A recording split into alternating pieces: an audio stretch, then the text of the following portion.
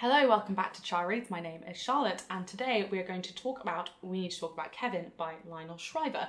This came out in 2003. It tells the story of Ava Eva writing letters to her estranged husband Franklin about their son Kevin, who three days before he turned 16 murdered nine people in his school. It alternates between Ava's present day, two years after the fact, um, and her going back from before Kevin was even born to talk about her reasons for having children, her relationship with her husband, and like Kevin's life leading up to this moment. One of the biggest and most important themes in this book is motherhood.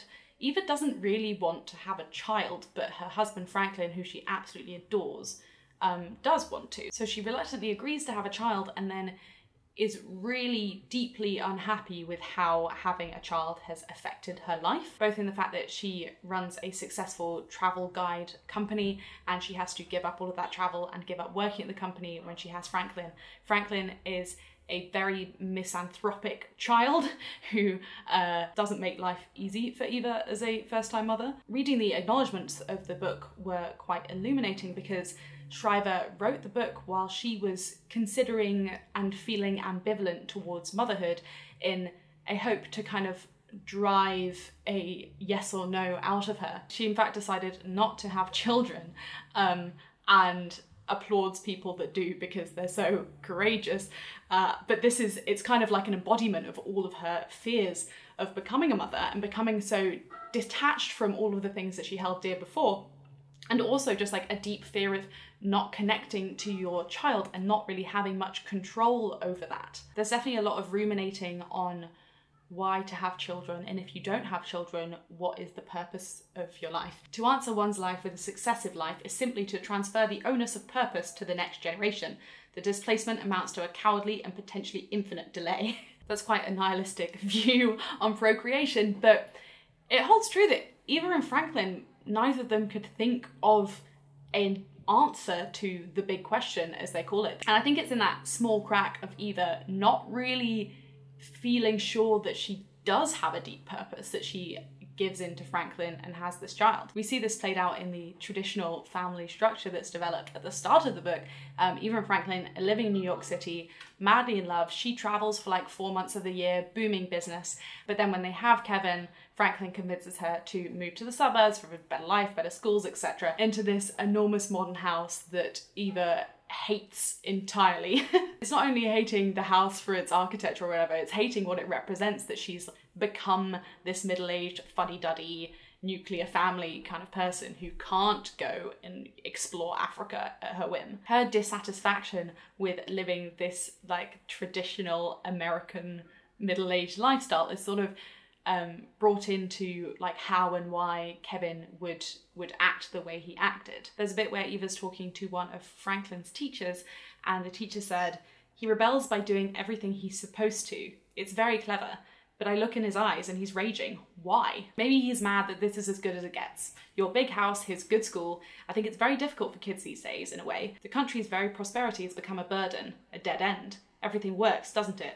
At least if you're white and middle class. So it must often seem to young people they're not needed. In a sense, it's as if there's nothing more to do. And you can see how that sentiment actually really resonates with Eva because she also feels like she's been pulled back into this white suburban middle class life where there isn't any passion left anymore. And in many ways, it's strange to see her throughout the book sympathize with Kevin um, because she actually has the same frustrations. Another big theme of the book is the differing perspectives of Eva and Franklin. From birth, Eva has always seen Kevin as a tormentor, as pure evil, and some of the things he does are purely spiteful. But Franklin says, no, he's just a totally normal boy. He is totally normal with me. I don't know what you're you're seeing or saying. Sure, he's done some silly things, but that's just what kids are like. They mess up. I think for a lot of the book, until like obviously the climax where he kills lots of people, um, it's left really uh, ambiguous as to who is is right and who is wrong in that regard. There are a few times where Eva accuses Kevin of having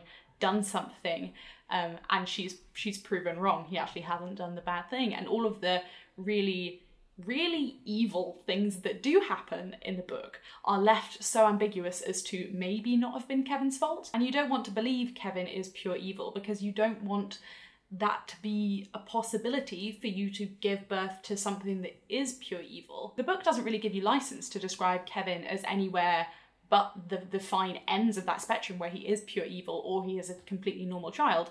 Obviously, the things that happen at the end of the book um, do really validate either. And you can say that Franklin's been naive or been gaslighting. Um, but one of the things I found really interesting when I was discussing this book with my book club is that I had a lot of sympathy for Eva. I could see that she had some errors, but I don't. I do think that Kevin was evil. But they were more of the opinion that Eva, through her relentless belief that Kevin was evil, um, like fostered that within him, and that encouraged him to act out. But I just don't see that at all, and I think that's one of the biggest flaws in the book. It's the thing I liked the least. It's that I don't I don't buy that there are pure evil children. From the age of zero, that is what the narrative is espousing. I just don't think people kill senselessly. I don't think they foster a household that, that would be conducive to that sort of evil thinking. Um, Kevin didn't seem to have any actual like mental health issues.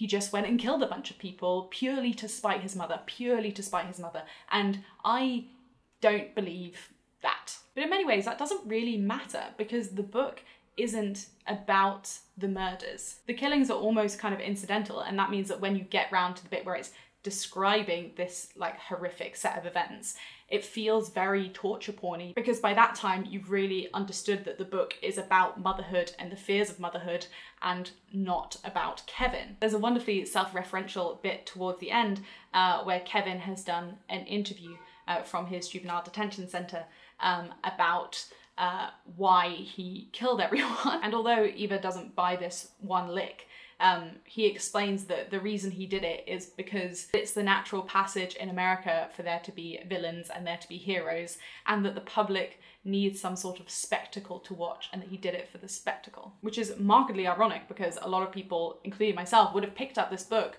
not because it's about a relationship between a mother and a son, but because it, it's about murder and it talks a lot about school shootings and that's the draw um, in fact eva says i was struck despite myself by what a sizable proportion of our species feeds off the depravity of a handful of reprobates. And that's definitely the pull to this book without actually being the content. I'd say i definitely went into it thinking that it would be about school shootings. It would be about Kevin's psychology rather than his surroundings. And therefore, when I was like halfway through and Kevin was only six years old, and we spent so much time talking about um, about motherhood, the decision to have children, and all you, you give up through that.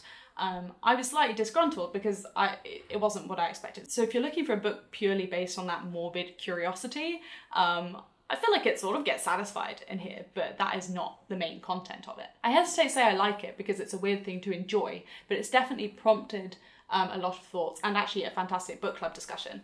Um, and it was well written. Did I like it? I don't think I liked it, especially towards the end. It feels like all of the content in the book happened in the last hundred pages. Um, it was very interesting. So this has been a video on We Need to Talk About Kevin by Lionel Shriver. Um, let me know your thoughts about my thoughts down in the comments and I'll catch you in another video soon. Thanks a lot for watching. Bye.